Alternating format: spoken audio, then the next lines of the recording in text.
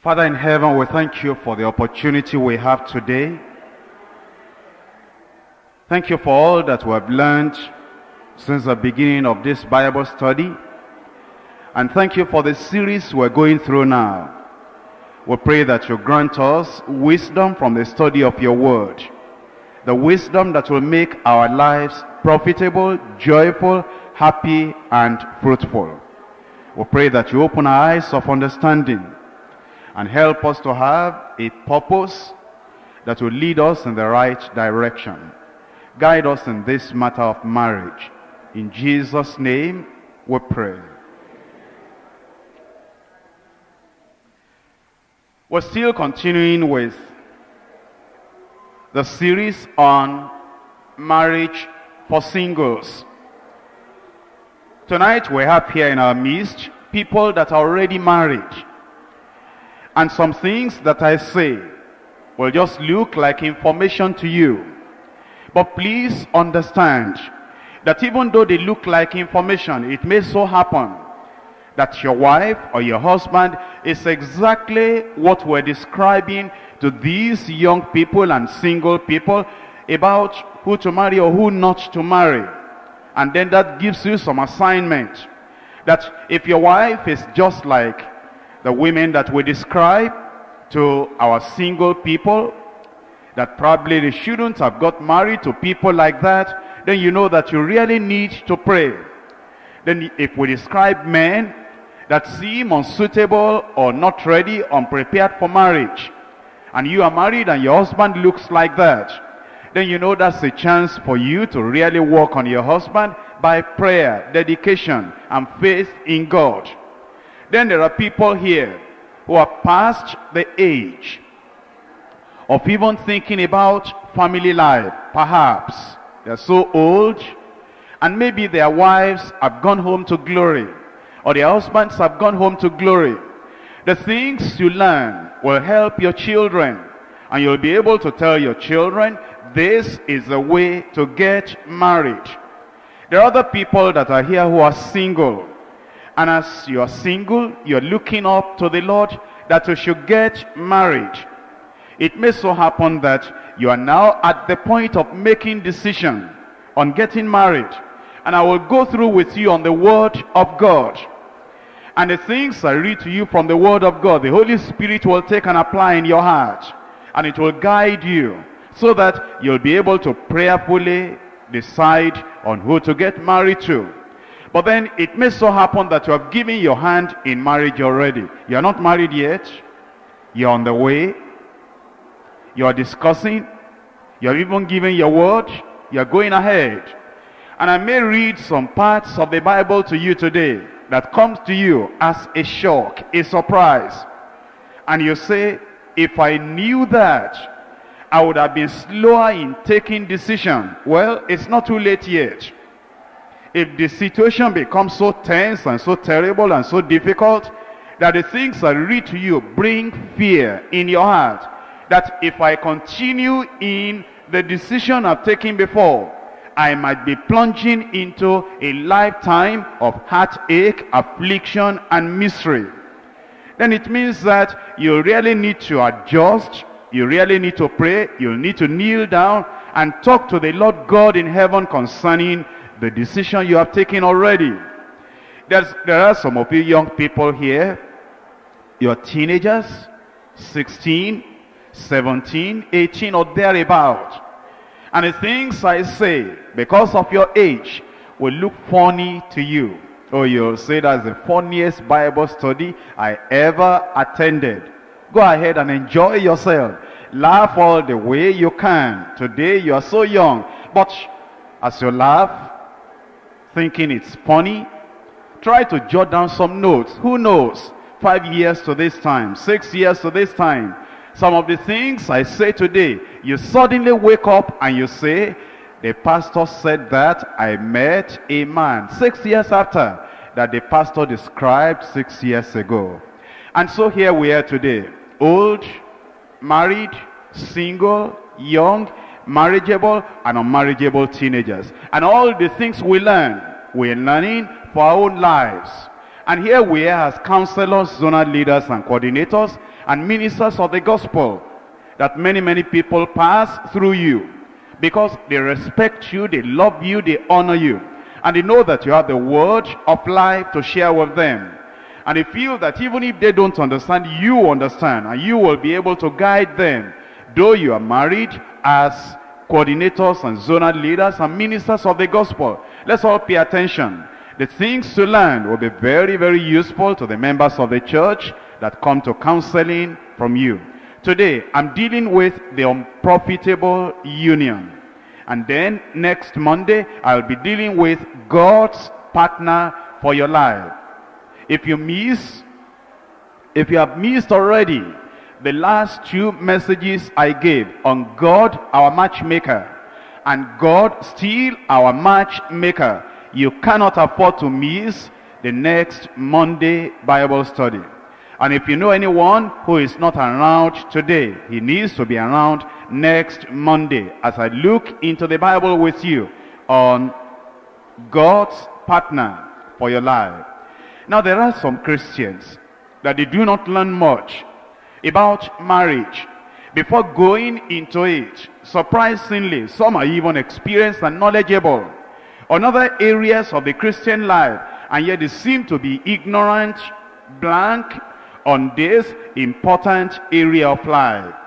I'll be talking about John Wesley later, and I'll talk about another stalwart Christian, missionary, preacher, minister of the gospel, very, very dynamic and intelligent, but they made a mess of their marriages. There are people that marry in the dark. They do not want people to know about it. Other people marry without having any knowledge. They do not learn. They do not have instruction, counseling, or guidance. And they are in a tremendous gamble. Sudden marriage can be a step towards sudden death. And many people who go into the unprofitable union, they have already a sure guarantee for unprofitable, unfruitful life. I'll talk about commands on the unequal yoke. Two, I'll talk about characteristics of unmarriageable women. I'll talk about characteristics of unmarriageable men. And I'll talk about the catalog of unprofitable marriages. Let's come back to point one. Commands on the unequal yoke. In Deuteronomy chapter 7, reading from verse 1. When the Lord thy God shall bring thee into the land whither thou goest to possess it, and has cast out many nations before thee, the Hittites, and the Girgashites, and the Amorites, and the Canaanites, and the Perizzites, and the Hivites, and the Jebusites, seven nations greater and mightier than thou. And when the Lord thy God shall deliver them before thee, thou shalt smite them and utterly destroy them, and shall thou shalt make no covenant with them, nor show mercy unto them. Neither shalt thou make marriages of them. Thy daughter thou shalt not give unto his son, nor his daughter shalt thou take unto thy son. For they will turn away thy son from following me that they may serve other gods. So will the anger of the Lord be kindled against you and destroy you suddenly. These people had just come out of the land of Egypt. About 40 years had passed. They spent a long time in the wilderness. But then that was like a short time because they had actually been in, in Egypt for centuries. And because they had been in Egypt for centuries, they knew nothing about marriage, proper marriage. They didn't have the opportunity of having a lawgiver, a teacher, a director, a counselor, a person that will show the way. But then Moses came to them, and the Lord used Moses and Aaron. And these people came out of the land of Egypt. Immediately they came out, they were concerned about pressing immediate needs. Those pressing needs were needs of food and the needs of provision and the needs of protection. They were not immediately concerned about marriage. And so God gave them manna and he guided them and protected them. Before long, they needed to understand how they will be able to get to the land of Canaan without perishing in the wilderness because the Amalekites came against them. The Lord fought for them and things were all right. But eventually, they needed to settle on this important area of marriage. And Moses assured them when they got to the land where they were going, there will be seven mighty nations, great, great nations that they will see. You see, when you are thinking about marriage, you think of the might, the greatness, the wealth, the intelligence of the person that will come across in your mind as a human being. You do not want somebody that is lower than yourself. You do not want somebody that is less to you in wealth or in anything. You want to get somebody that is mighty in your own definition, wealthy in your own definition, great in your own definition. And Moses told the people, you might see these people. And obviously, depending on what you're looking at, if you look at the natural, if you look at the social, if you look at the intellectual, if you look at the temporary things, they will seem greater and mightier. But do not think about marriage towards them. Because they are idol worshippers. They do not know the God of Israel. They're living in darkness. And it is the God of this world, the devil, that is ruling over them. If you get married to them, it will affect you, your, your faith. It will affect your belief in God. It will eventually affect the whole nation. And so they were warned, they must not have the unequal yoke with those people. And the Lord is telling us the same thing today, that the unequal yoke will destroy the greatest thing in your life, your faith in God. Your Christian faith, your Christian stand will definitely be affected at a later time before Joshua led the children of Israel. Again, understand, Joshua had brought them to the borders of Canaan and he had led them into victory. These were conquerors. They conquered Jericho. They conquered Ai. And also they got provision for themselves. They got houses they never built. And they got inheritance that they never worked for. But before this great man of God led them, he saw the necessity of talking to them on marriage. You might have come to the church and you're already a believer now. You've got eternal life. You've got healing. You've got prosperity. You've got a lot of things. But we do not want you to remain just with all those blessings you have got without getting an understanding on marriage. And here is the word of God again on the unequal yoke, telling us you must never try it. Joshua chapter 23, from verse 11. Take good heed therefore unto yourselves, that ye love the Lord your God, else if ye do in any wise go back and cleave unto the remnant of these nations, even these that remain among you, and shall make marriages with them, and go in unto them, and dare to you, know for a certainty that the Lord your God will no more drive out any of these nations from before you. But they shall be snares and traps unto you, scourges in your side, thorns in your eyes, until ye perish from all this good land, which the Lord your God has given you. Have you, do you remember any experience when you were very, very young, you did something wrong, and your parents wanted to discipline you, but in a harsh, hard, terrible way. And your parents, maybe your father, made you to remove all your clothes, and you were lying on the bench, and then with the scourge, the tail of an animal, sharp, strong, terrible, with all his adult strength, he laid that whip on your back. And because of the pain, you turned and then it came on your side and your belly. The pain, the agony. The Bible says, when you marry an unbeliever, When you join yourself to these people, it will be like scourges in your naked side. And it will not only be for the 30 minutes of your father weeping you when you were young, but it can continue for 30 years. The nagging, the quarreling, the evil, the agony that you will experience all those years marrying the unbeliever. And it says, thorns in your eyes. Long ago, I met somebody that had an accident. And the broken glasses of the windscreen went into the eyeball. And um, even though he had taken care of himself, there was still some broken glasses in the eyeball when he was talking with me. And the inconvenience he felt every time he blinked his eyes. He felt the sharp pain in the eyes. You see what the Bible says here? That instead of just 30 minutes of the agony before the doctors work on you, if you marry the unbeliever, it will be like thorns in your eyeballs.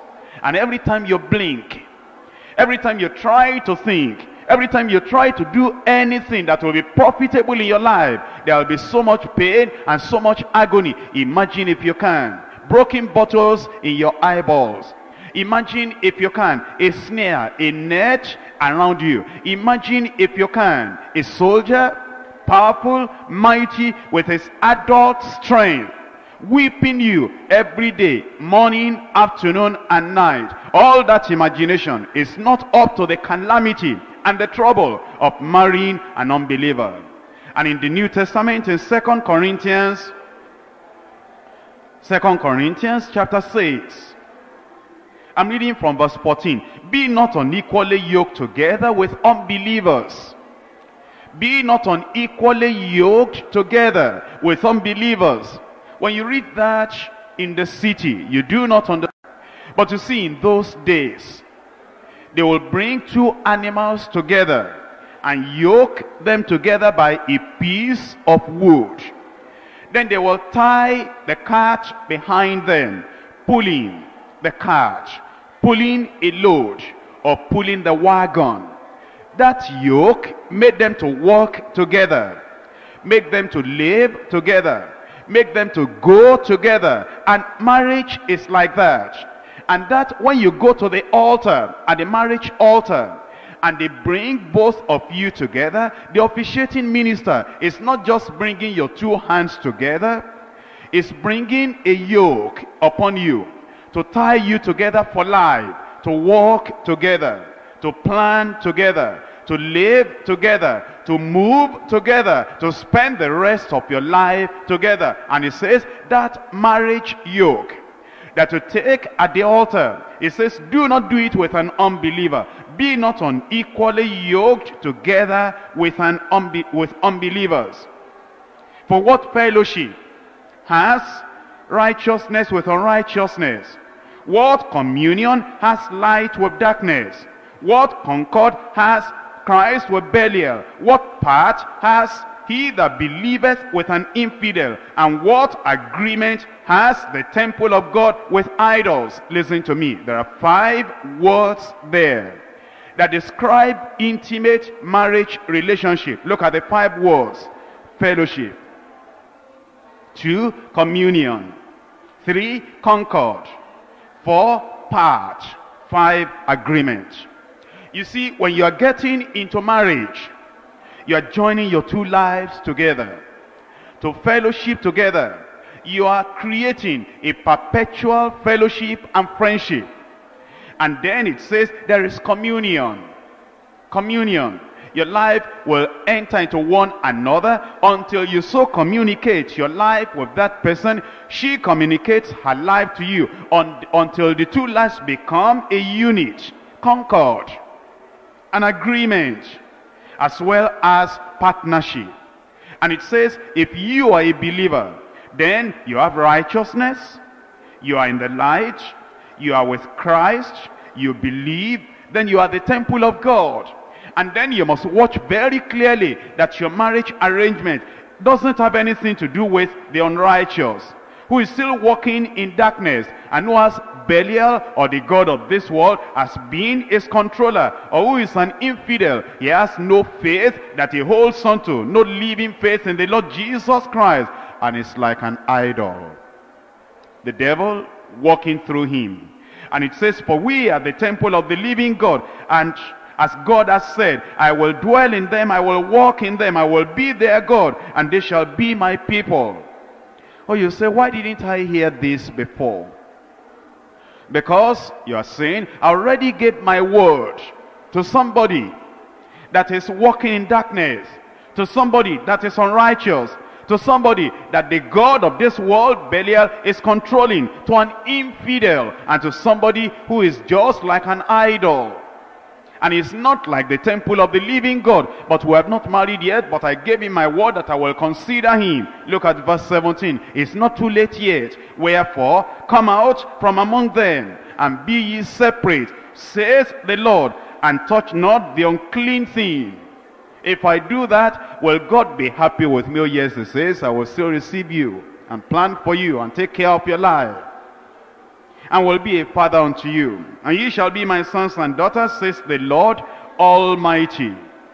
You see, we are often short-sighted and thoughtless about the future consequences of our present actions. We say, I'll do it now. Like Samson, get her for me now. Because I love her. I want her. My body wants something now. Therefore, get her for me. Like Esau. I'm hungry now. Therefore, I must eat. Whatever the cost, whatever I pay for it later, give me the food right now. But to see, because we're short-sighted like that and we know nothing about the future consequences of our present actions, the Lord himself who knows the future of the heathen, the future of the sinners, the future of the religious hypocrites and pretenders, and the future of the nominal church goers, the children of Satan, he has given us warning. Be not unequally yoked together with unbelievers in his love, wisdom, and foresight. He has warned us as children not to marry unbelievers. Such marriage will become a snare, a net, a prison, a thorn in your side, and will bring God's fiery indignation and wrath and judgment on the backslider that goes to marry the unbeliever. But then you say, how do I know an unbeliever? Because these days, there are a lot of people that carry Bibles. There are a lot of people that wear badges. Apart from that, are there not unbelievers in our church here? Or all these people that look nice and sitting gently, are they all believers, Pastor? We're praying for them. That God will make them all believers. And we're trying our best. But at present, we don't have them 100% as believers. How then do I know? How then do I spot out the one that is a believer? One, you have to pray. You have to depend upon God. But two, after you have prayed, you can pray and yet make a mistake. Therefore, you really have to find out then, is this a believer? Is this an unbeliever? Then you'll need to find out what are the characteristics of unbelieving men, unbelieving women. Because you are not to marry an unbeliever. What are the characteristics of unmarriageable women? There are women who are unmarriageable. Somebody will marry them, some unlucky people, some unfortunate people, some unguided people, some people that are not enlightened according to the word of God, they will marry them. Somebody will marry those unmarriageable women. But for you, you are enlightened. You are being counseled. You are being taught. You should not fall into the net of unmarriageable women. Women, don't worry about. Somebody may look at you and say, maybe you are the one I'm talking about. I'll soon talk to you about unmarriageable men. Some of the men are so unmarriageable you won't believe it. But let's start with unmarriageable women. Proverbs chapter 2. From verse 10. When wisdom entereth into thine heart, and knowledge is pleasant unto thy soul, discretion shall preserve thee, and understanding shall keep thee. Verse 16. That discretion and wisdom will keep thee from the strange woman even from the stranger which flattereth with her words, which forsaketh the guide of her youth, and forgetteth the covenant of her God. If you are wondering what type of woman is that, that is unmarriageable for me as a believer, you are told here, when discretion, wisdom, prudence enter into your heart, all these qualities will teach you that when you see a woman that flatters with her words, you should avoid that woman. Or the woman that has forsaken the guide of her youth and has forgotten the covenant of her God. She said, I used to be a believer. I used to be a Bible reader. I used to depend upon God. But you know, right now, I've broken my covenant relationship with the Lord. I want to get married first. After getting married, if I have time for God, I'll think about him. That's not a person for you to marry. Or somebody that will say, I used to read the Bible and find out the will of God in anything I wanted to do.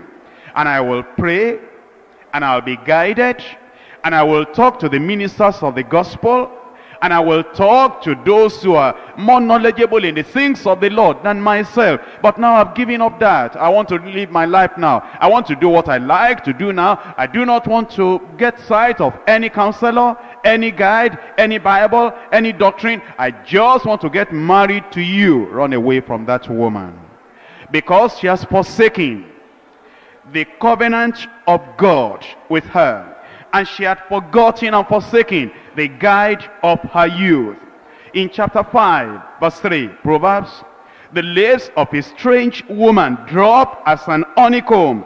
Her mouth is smoother than oil.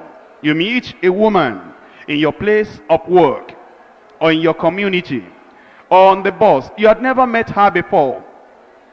And then she sees you reading Bible or she sees you giving out a tract and eventually she came to you and said, are you a believer?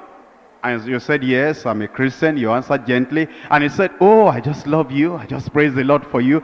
This time we met and I've been looking for a person like you. In fact, you look so wonderful. Your Christian life is so gentle and so impressive. I think that uh, we should be friends together. By the way, what's your name? What's your address? Which church do you go? Oh, do you go to that church? I love that church very much. I read the Bible just like that. All these tracts you are giving out, I love the tracts as well. In fact, I love you. I hope we'll get married together. I love you. I'll take care of you more than your mother. I will help you every, all the days of my life.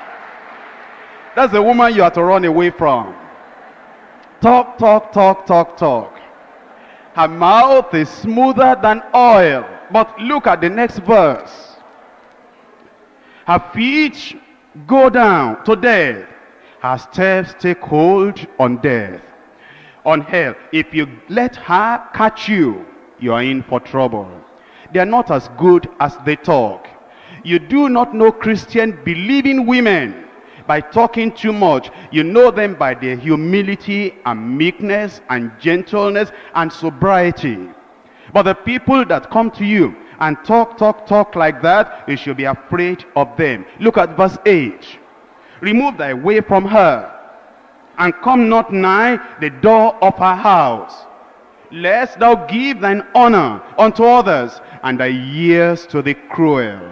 Lest strangers be filled with thy wealth, and thy labors be in the house of a stranger, and thou mourn at the last, when thy flesh and thy body are consumed, and say, How have I hated instruction, and my heart despises reproof, and I have not obeyed the voice of my teachers, nor inclined mine ear to them that instructed me. I'm instructing you and there are other teachers, counselors and coordinators and zonal leaders that are instructing you. Keep to the instruction of the word of God that we're all giving you. Because all those instructions are to rescue you from getting into the hand of a strange woman. Look at chapter 7, verses 4 and 5. Say unto wisdom, thou art my sister, and call understanding thy king's woman that they may keep thee from the strange woman, from the stranger which flattereth with her words. Beware of the woman that will flatter you. You know that you are not as good as she is painting you. And she's just flattering you so as to get you into a net. in uh, Proverbs chapter 9, verse 13. A foolish woman is clamorous. She is simple and knoweth nothing. Clamorous, noisy. Now, when you see a woman that there's nothing around her, there's nothing about her except her tongue, her lips, and mouth, that's all you see about her. Every time you come together, she doesn't allow any other person to talk. She has a lot to say. A lot of foolish things that are just empty words, loud, empty noise. You ought to avoid that woman like you avoid a snake. In chapter 21 of Proverbs, verse 9, it is better to dwell in the corner of the housetop than with a brawling woman in a white house. 19. It is better to dwell in the wilderness with, than with a contentious and an angry woman. Now, what the Bible is saying here is that you young people, unmarried people, before you get married, you say, I feel lonely. I feel as if I'm living in the wilderness. I have no wife yet. I have no comforter yet. I have no helper yet. I have no fiancé yet. I do not have a life partner yet. And all the time you're saying, any woman that comes along my, my way, I'll just get that woman. But look, it is better that you remain single now and watch carefully. Uh, more than if you get into the net of a brawling, noisy, quarrelsome, fighting woman. And it says it's better to remain in the wilderness, lonely, not married yet, not having a fiancé yet, rather than having a contentious, angry woman. You have not married yet, but you see her in the zone. And she says she is um, a child of God. That's what everybody likes to be. And then she fights with the house fellowship. And you say, ah, house fellowship is also like the house of God. Yes, I know, but I need to teach her. That lady teaching house fellowship, I need to teach her sense. And then eventually uh, you say, have you seen the area leader? Which area leader? I don't count with those people. The only two people I love, I love you and I love the pastor. Only those two people in the whole church. Be afraid of those women. Contentious, angry, terrible. Their temper, they are terrible. More than a lion or a bear. And so the word of God is saying, it is better still to remain single and praying finding out who you will get married to than get married to that person that will destroy you in your life. In chapter 22, verse 14, the mouth of, a stray, of strange women is a deep pit. He that is abhorred or rejected of the Lord shall fall therein. I pray you'll not fall in the hands of a strange woman in Jesus' name. It's not only women that can be bad. Some men too, oh, they can be bad and they can be terrible. And that's why it's good for you to understand that you should marry just believers, believers alone. All these references I read to you, they describe the characteristics of unbelieving men and unbelieving women. Look at Proverbs again, chapter 2. Verse 10. When wisdom entereth into thine heart and knowledge, is pleasant unto thy soul. Discretion shall preserve thee. Understanding shall keep thee. To deliver thee from the way of the evil man, from the man that speaketh froward things. Who leave the paths of uprightness to walk in the ways of darkness. If you see that there is a man, you never see him in the afternoon. And it is not that he's a medical doctor on call it's not that he's working in the hospital or he's working as a guard or security somewhere in the night.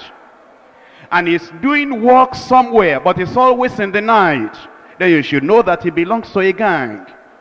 And if you are not careful, the person might say, well, I'm a Christian because he's looking for somebody to marry.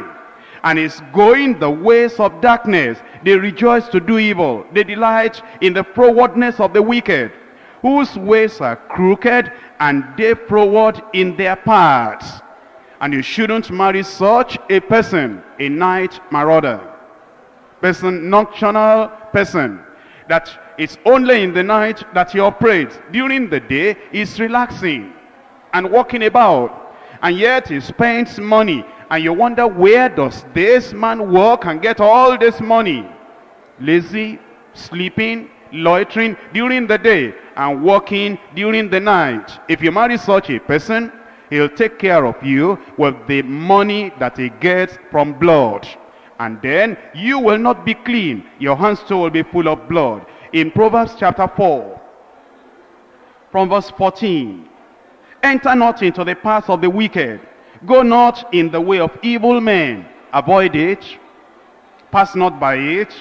Turn from it and pass away. Do not even allow them to have your address. Do not get into such acquaintance and such friendship with them, talking terms with them, to the point that they are telling you that they are interested in you because they are not marriageable. They are evil. They are deceitful. And their ways are shifting from here and there or here to there. In chapter 14, verse 7. Chapter 14, verse 7. Go from the presence of a foolish man when thou perceivest not in him the lips of knowledge. Now what knowledge do you have as a believing sister? As a child of God, a woman, you have knowledge of God. You have knowledge of Christ as being your Savior. You have knowledge of the Bible as being the Word of God. You have knowledge of eternity. You have knowledge of life after death. You have knowledge of the fact that we ought to live among the children of God. And you have knowledge of living a peaceable life in the fruit of the Spirit. And you come in contact with a man. He says he comes to church. He says he reads the Bible. He says that he too is a believer. But as we discuss with him, he has no knowledge of the Savior. He has no knowledge of God. He has no knowledge of the Bible. The moment you discover that you know you are dealing with an unbeliever, go from the presence of that foolish man. The moment you perceive that he does not have the lips of knowledge. If you marry such a person, you are marrying an unbeliever. Verse 14, the backslider in heart shall be filled with his own ways. A man that is filled with his own ways is the wisest person that you have ever met. That's what he says. You are discussing something and now he tells you that he's looking at you and he knows the will of God to you. And you say, well, brother, have you gone to see the marriage committee? And he says, no. Have you seen the have you seen the zonal leader? No. Have you seen the coordinators? No. Have you seen the pastor? No. Have you seen anybody? No. Why are you asking me that? Why do I need to see them? a person as I am. All those people that are teaching inside the scripture, preaching on Monday, preaching on Thursday, apart from the pastor, I know more than all those people. And all those people, they make coordinator, make zonal leader, make a state overseer, make missionary. I know more than all those people. And tell him to coach Bible. He doesn't know Bible. He knows more than the coordinators.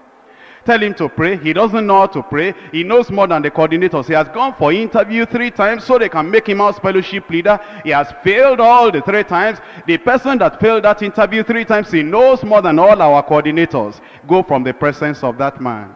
That's a fake man. That's a counterfeit. That's a pretender. That's a hypocrite. The backslider in heart is filled with his own ways or you are going on together. Maybe you have even said, okay, uh, I am praying about knowing about this will of God. And eventually, has not even allowed you to finish praying, will visit you every day. And every time he comes, he never talks about any other thing. He talks about himself.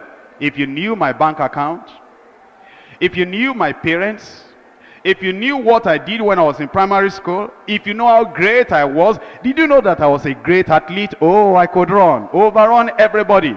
In fact, I almost won national award in my running and at, in athletes. Now, he'll talk about just himself. Now, did you go to church on Sunday? Did you hear those sisters singing? Did you hear the choir singing? I can sing more than that.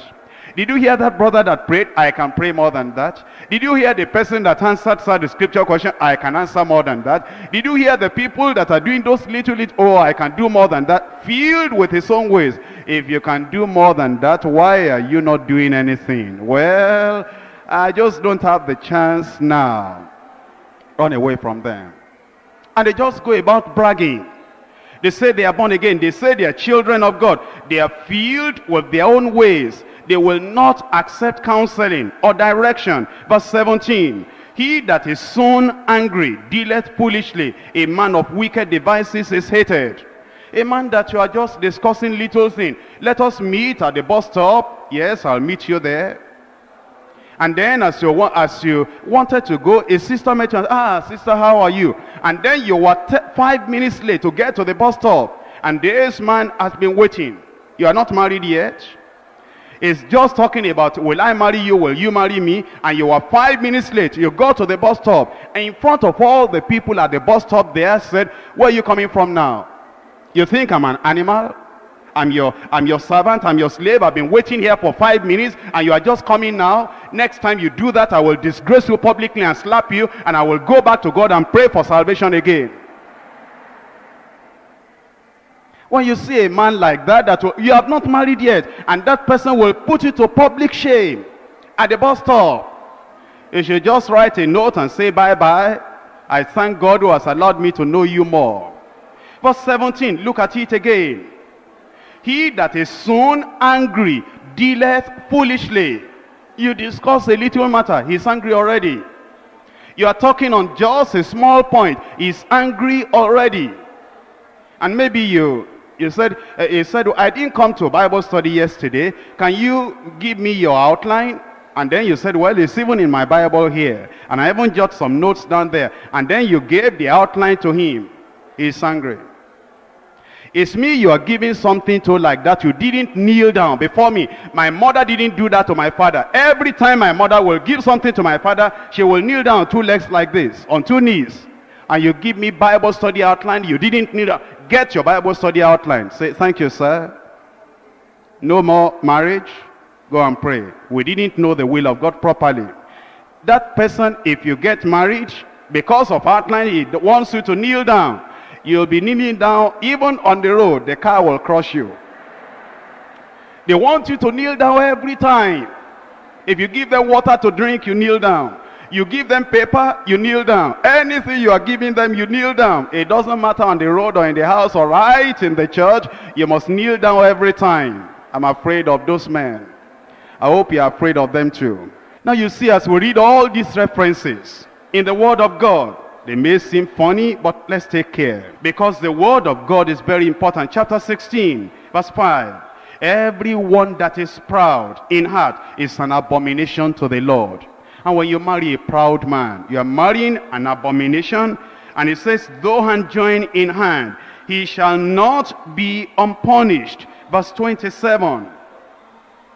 An ungodly man diggeth up evil. In his leaves there is a burning fire. This person came to you and said, well, sister, I am wanting to marry you. And I prayed, I've known the will of God. Well, you say, brother, I've not prayed yet. So I cannot tell you now yes or no. I will pray. But before I pray, I want to tell you, in my life, this happened five years ago. This happened two years ago. This happened three years ago because uh, maybe you didn't know that and now you are saying you want to marry me i want you to know all these things so that nothing is strange to you and he said okay uh, still go and pray all the same and then two weeks after that he saw you at the bible study and you have not given your word you are not saying you are marrying him only that you just said you want to be sincere this is what you had been in the past and she said sister come here that thing you told me uh, two weeks ago in fact, what's your answer now? Have you accepted or not? Well, I'm still praying. You only told me two weeks ago. Haven't you finished praying? Two weeks? You know how many hours we'll have in one week? 168. You know how many hours we have in two weeks? All those hours you have not prayed and you have not found the answer to give me. Well, I'm still praying. In any case, that thing you told me, you didn't tell me everything. I went to uh, Shagamu to find out and I saw Mr. So-and-so. I saw Mrs. So-and-so. Ah, nothing I told you two weeks ago. Just being sincere. To tell you that this is my life. You're going to find out, oh yes. I find out everything. I dig up everything. Like a policeman, like a CID. The Bible says that an ungodly man diggeth up evil. He will not bury it. He doesn't have real love in the heart. All he wants, he wants somebody that he can satisfy his bodily pleasures on. That's why he wants to marry you. And a person like that should be afraid of a person like that. Quarrelsome, difficult, dangerous, and is deadly as well. And in Proverbs chapter 20, Proverbs chapter 20 from verse 1. Wine is a mocker, strong drink a raging, is raging. And whosoever is deceived thereby is not wise. You get to the house of the man and he drinks. And you say, ah, brother, do you drink? What sort of question is that? Are you watching, are you watching my life? Are you suspecting me? Do you drink? What if I drink? Suppose I tell you I drink now. What will you, what conclusion will you make out of that? Do you think, okay, if you say I drink, I drink. How about those bottles that are there? I said, if you say I drink, I drink. That's what you want to hear? Okay, I drink. You know, you see how clever he is? Is a prospective drunkard is going on the road to drunkenness, but he doesn't want to confess it. And he's putting it back to you that if you say I drink, I drink. He's not sincere. And he's not serious about marrying you. He just wants, wants to bring you into slavery. Wine is a mocker. Strong drink is raging. Alcohol is one of the greatest sins that destroy marriage, break up marriage. And therefore should beware of the man that is still drinking, drinking in secret, but will not confess it. And then in Proverbs, chapter 23, verse 21, For the drunkard and the glutton shall come to poverty. Drowsiness shall clothe a man with rags. You can read all the other references on your own.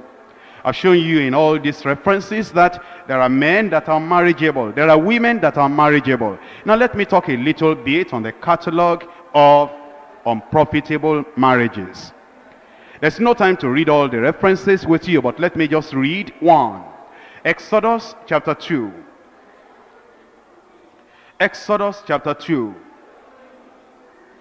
From verse 16. Now the priest of Midian had seven daughters, and they came and drew water and filled the troughs to water their father's flock. And the shepherds came and drove them away. But Moses stood up and helped them and watered their flock. And when they came to Reuel, their father, uh, he said, How is it that ye are come so soon today? And they said, An Egyptian delivered us out of the hand of the shepherds, and also drew water enough for us, and watered the flock. And he said unto the daughters, Where is he? Why is it that he left the man? He called, call him, and that he may eat bread. Moses was content to dwell with the man, and he gave Moses Zipporah his daughter. No prayer, no finding the will of God, no counseling, no finding about the woman, just at this time living there. The man said, I'll be happy to give you my daughter. Oh yes, I'll be happy to marry your daughter. That's how they got married.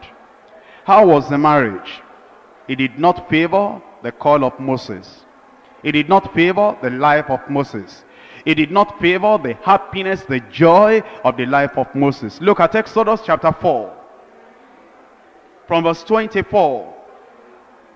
And it came to pass by the by the way in the inn that the Lord met Moses and sought to kill the child because the child had not been circumcised.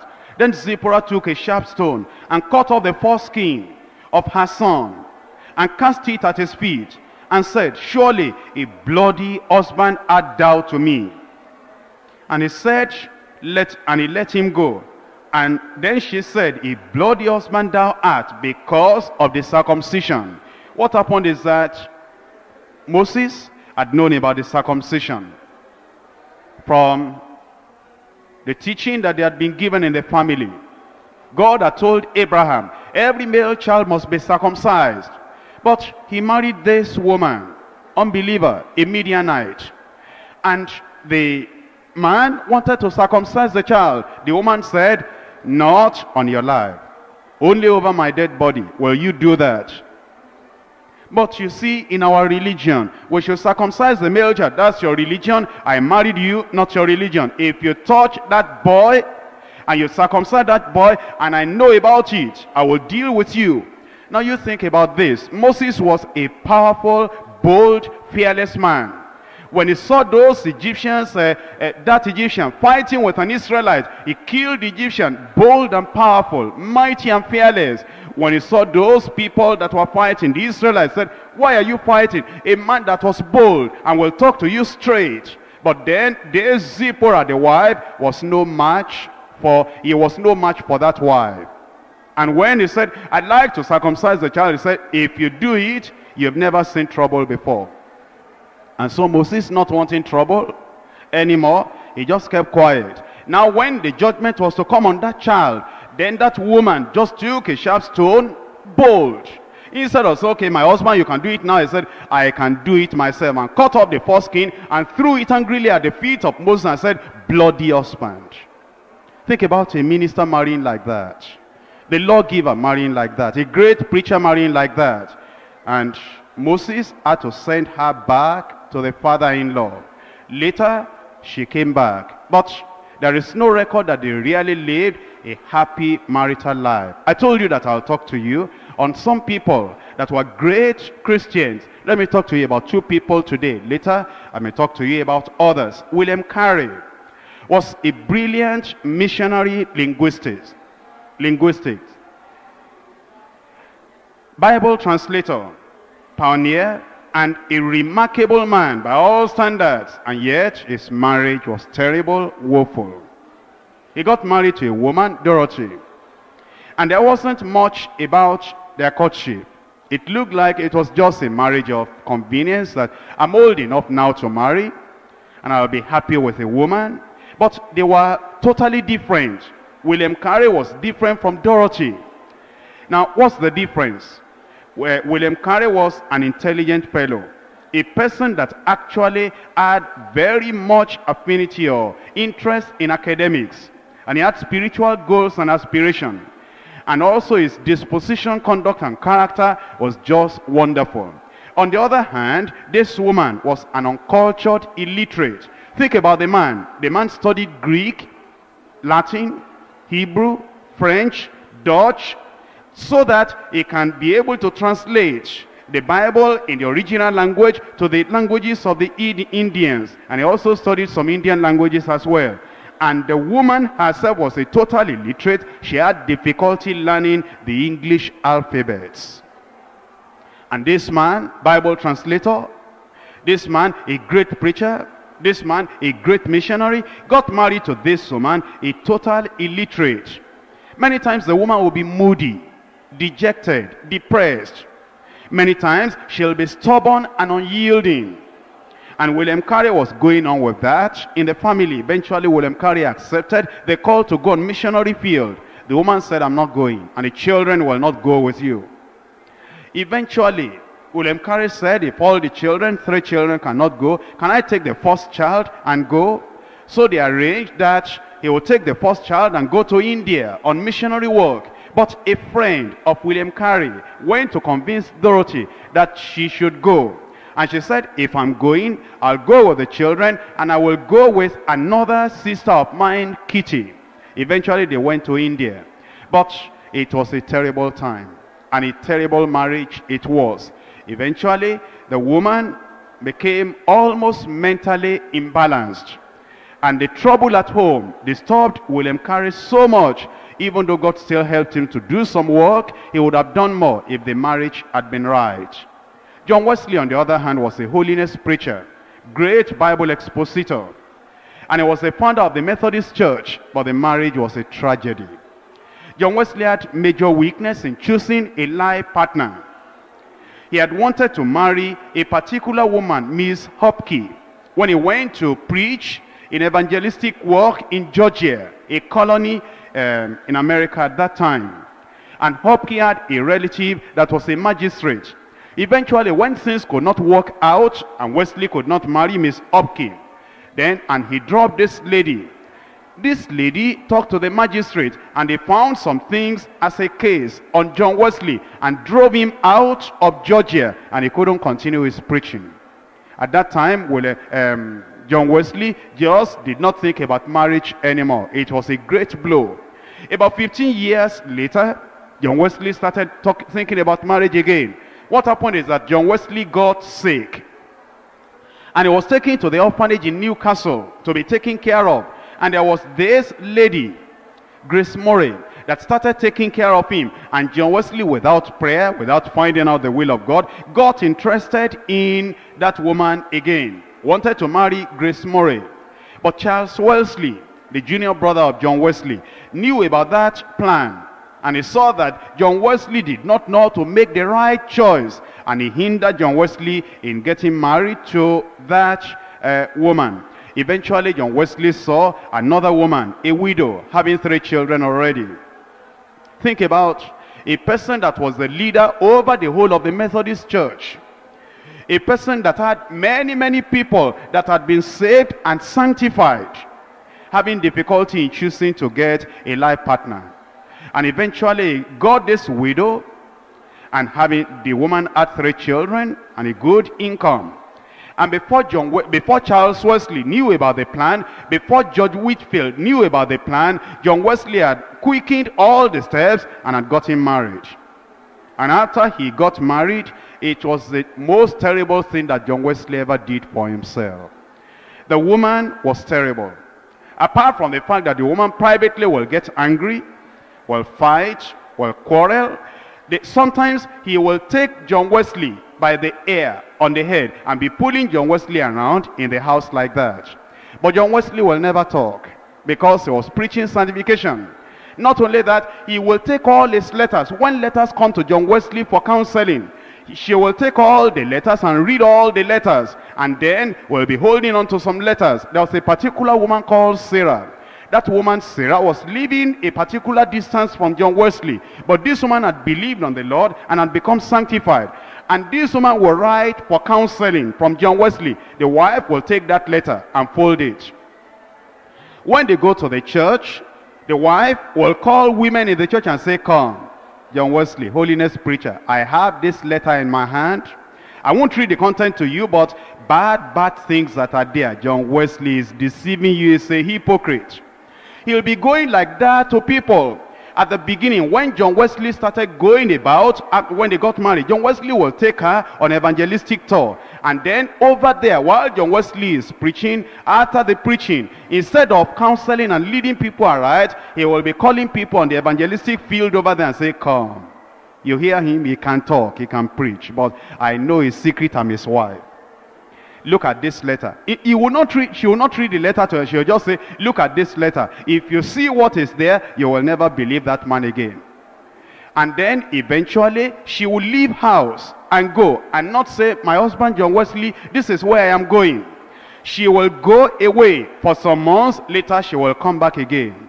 You tell me, how was John Wesley eating at that time? How was he taking care of himself at that time? Eventually, the wife just left and they, John Wesley did not know where he had, she had gone.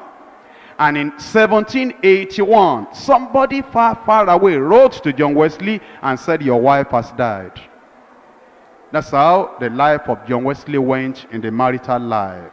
Think about it. Are you wiser than William Carey, who understood Greek, Latin, Hebrew, French, Dutch, Indian languages and translated the Bible from Hebrew and Greek to Indian languages and he made a mistake in marriage. Are you wiser than John Wesley? Who wrote commentary on the whole Bible? Who preached terrible, powerful doctrines and made a mistake in marriage? That's why you need to pray. And we need to pray. Rise up. Let's talk to the Lord. That we will not make mistakes in our marriages in Jesus' name. Do not allow anybody to pull you to the unprofitable union. Call upon the Lord that God will help you. God will assist you. God will protect you from evil men, from evil women. Do not let your flesh push you. Do not let anybody deceive you. God loves you. God will take care of you. God will choose for you. Depend upon God, my brother. Depend upon God, my sister. Let the Lord himself choose for you.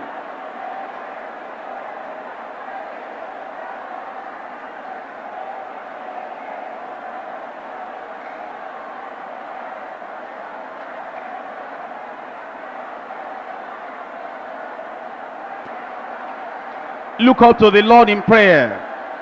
That God will make your wife the right type of person she ought to be. God will make your husband the right type of person that he ought, he ought to be.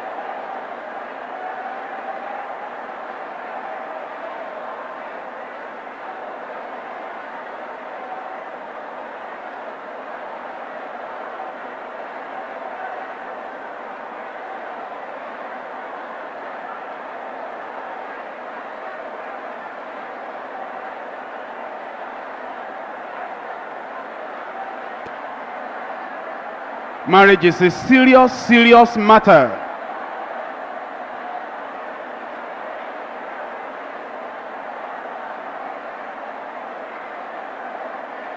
Do not rush. Do not do something in the dark. Do not do it secretly.